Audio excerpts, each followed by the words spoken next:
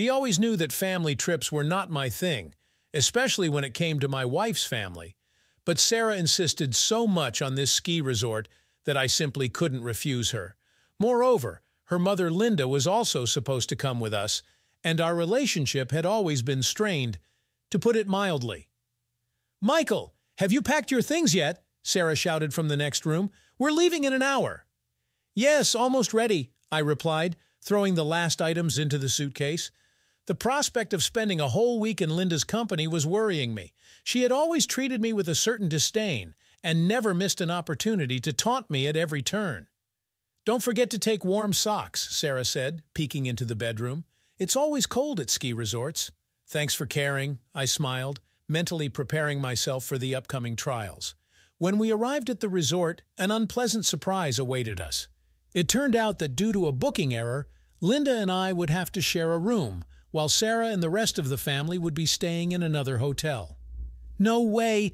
I'm not going to live in the same room with you, Linda protested upon learning about this. Believe me, this situation doesn't suit me any more than it does you, I parried, but we have no choice. As we unpacked our things in the room, the atmosphere was getting tense. Linda never missed an opportunity to make a jibe at me, and I struggled to restrain myself from snapping back. I hope you don't snore at night, she said, laying out her outfits in the closet. Only if I have a nightmare involving you. I couldn't resist a jab. Linda gave me a scathing look and demonstratively walked off to the bathroom, slamming the door. I sighed, anticipating that this week would be long and painful. Our first day at the resort was relatively calm.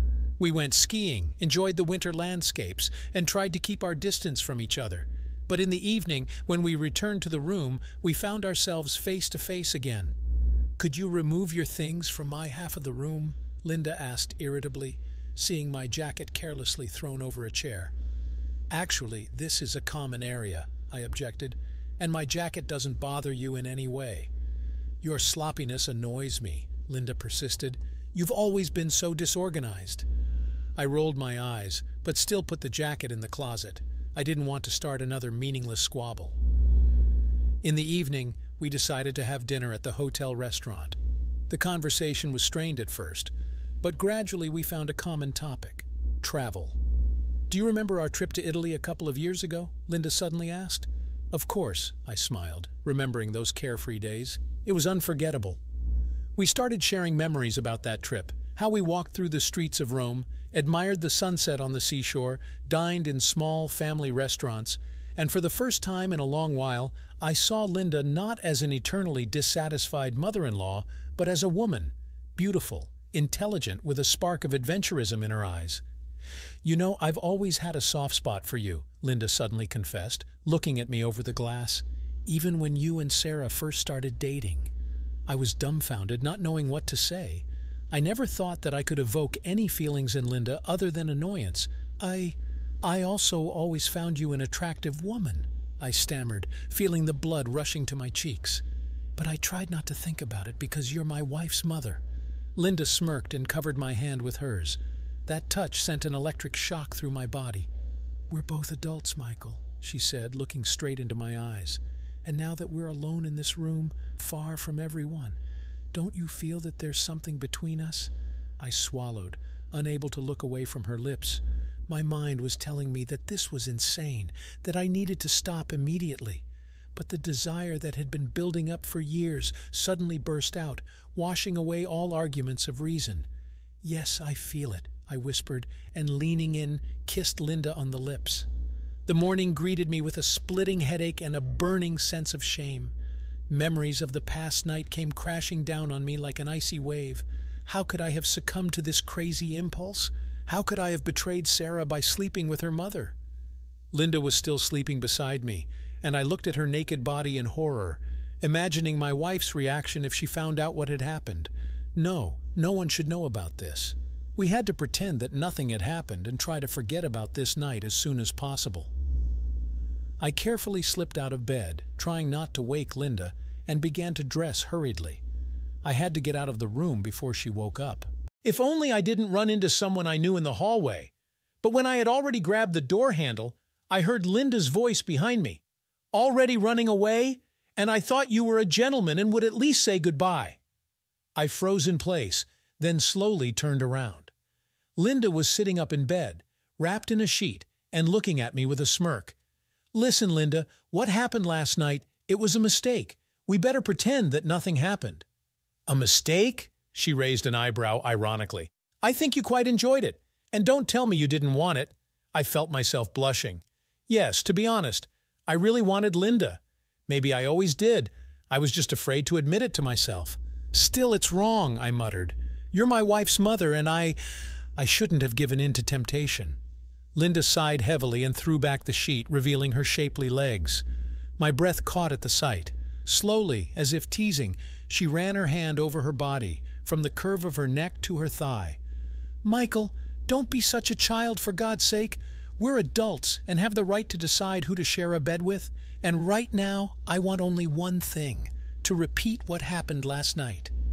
With those words, she beckoned me with her finger, and I, feeling the last bits of common sense leaving my mind, stepped towards her.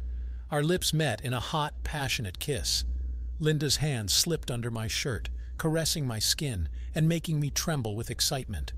Clothes flew to the floor, and soon we were lying on the bed, our naked bodies entwined, skin to skin, breath to breath. My hands explored every curve of Linda's body, reveling in its silkiness and warmth. Her soft moans sounded like the most beautiful music to me. With kisses, I traced a path down her body, teasing, stoking desire. Linda arched to meet me, tangling her fingers in my hair.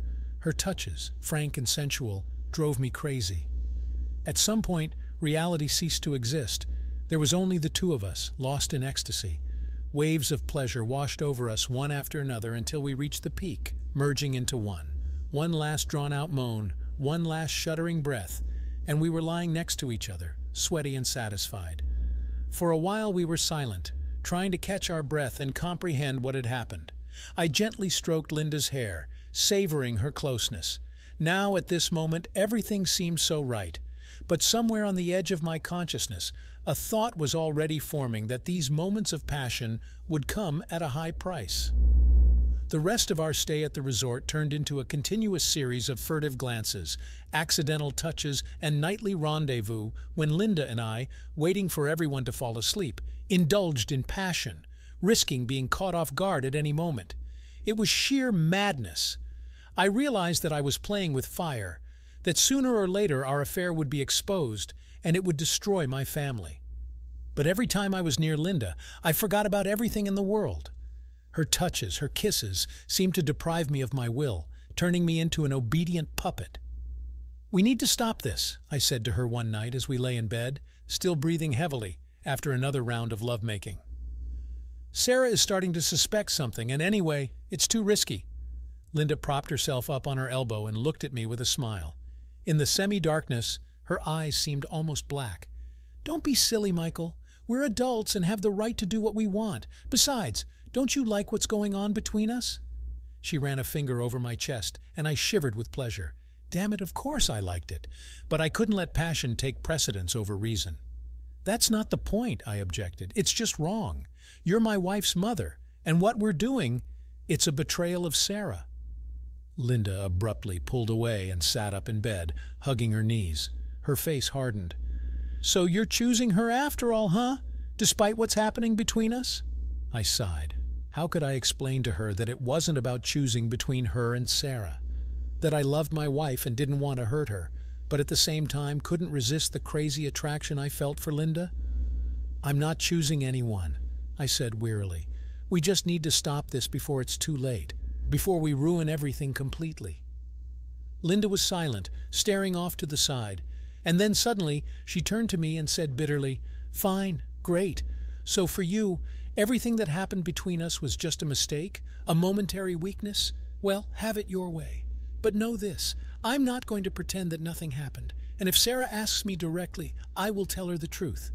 I felt a chill inside at those words. Not that. I couldn't let Sarah find out about my affair with Linda. It would break her heart and destroy our family.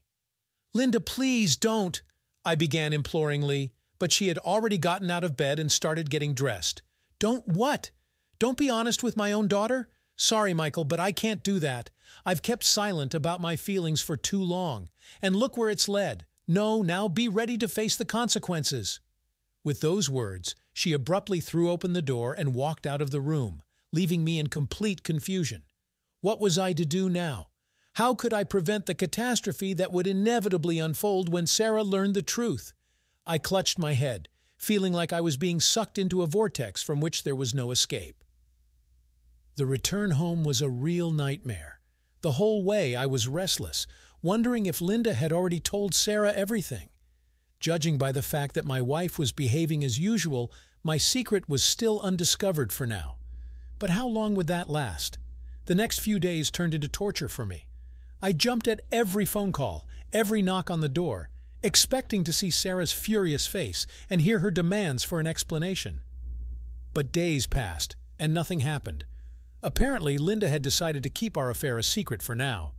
However, just as I was beginning to breathe a little easier, fate dealt me another blow. One evening, Sarah sat me down for a serious talk and announced that she was pregnant. The news that should have filled me with joy instead plunged me into even greater despair. A child. We were going to have a child, and I had managed to betray my wife in the most vile way. How could I look my baby in the eyes, knowing what a scoundrel their father was? How could I build a happy family on a foundation of lies and deceit? I didn't know what to do. I couldn't confess to Sarah. It would destroy her. But I couldn't keep silent either. The guilt was eating me up inside.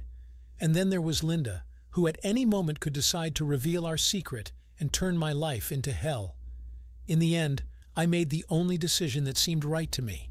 I decided to leave. Leave Sarah, leave our unborn child, leave everything I held dear. I knew it would break their hearts, but it was better than letting them live with a liar and a cheater. I packed my things and left a note for Sarah, apologizing for my cowardice and asking her not to look for me. And then I got in the car and drove away, not knowing where I was going or what I would do next. My past life was over. Ahead lay only uncertainty and the heavy burden of guilt that I would carry with me forever. But I had no other choice. I had to pay for my mistake, even if it meant losing everything I loved. As the city lights faded in the rearview mirror, I finally let the tears flow that I had been holding back all this time. Tears of shame, despair, and bitter regret. I had destroyed my own happiness with my own hands, and now I had to live with the consequences but perhaps somewhere in the depths of my soul, I still hoped that one day I would be able to make amends for my sins and find peace, even if it took the rest of my life. Did you like this story? Let us know in the comments what you liked. Subscribe to our storytelling podcast. Also, don't forget to like and ring the bell so you don't miss more interesting stories. See you soon.